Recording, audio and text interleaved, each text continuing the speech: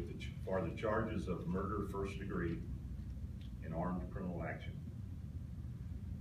This arrest followed an incident on August sixteenth of this year, wherein about twelve-ten that day, Louis Gumpenberger was shot and killed by Pamela Hupp while he was at her residence. The investigation began on that date and culminated with the case being presented to the St. Charles County Office.